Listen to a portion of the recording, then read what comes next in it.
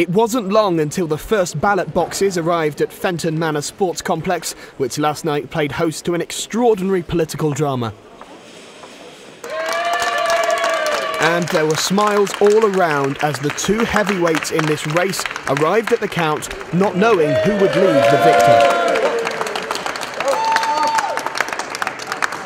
And there was a totally unexpected guest. Rapper Professor Green made a surprise appearance.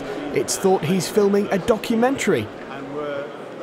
It became pretty clear early on in the night, from the smiles on Gareth Snell's face, that Labour were confident they'd done enough to see off UKIP. The Labour MP for Stoke North was keen to show her support for her incoming colleague can't wait to start working with him to deliver for our city.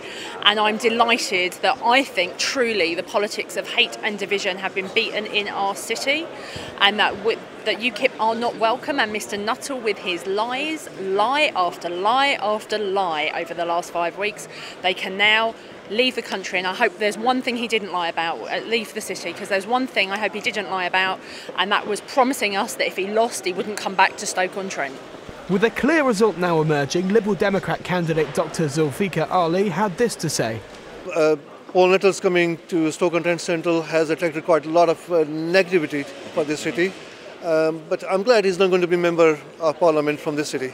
I, am very proud of my team really. We put up this message very positively. We reached to each and every voter. Uh, both uh, we campaigned against hard Brexit as well as uh, asked for more funding for NHS. Adam Colclough from the Greens wasn't feeling too down. In fact, he's ready to fight on. My real priority after this election is to get out there and start selling this city, start building connections with its community, and start promoting us for what a really great place we are. We mean, Labour are too busy fighting between the Corbynites and the Blairites. We're just, we're just a Green Party. We go out there and we say what we believe to be right because we want a fairer society. And then confirmation.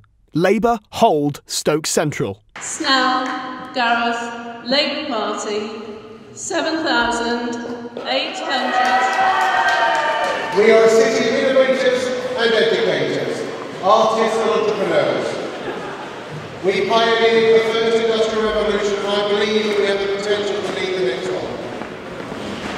This city will not allow ourselves to be defined by last year's referendum and we will not allow ourselves to be divided by the result.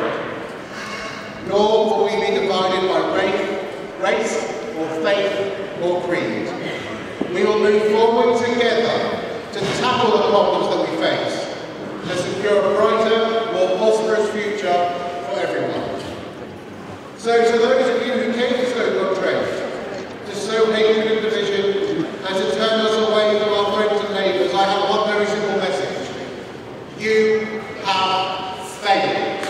What followed was a typical election night scrum to get the man people thought just a couple of weeks ago had it in the bag. No, no, no, it's just guys. beginning. Thank you. Thank you. There were questions about his leadership, the party, and his campaign. What about the Leeds by-election? You were hoping to fight that at one point. Just think after the Hillsborough stuff, you can't really now, can you? Who knows where Paul Nuttall's career might be heading. Lewis Warner, Staffs Live.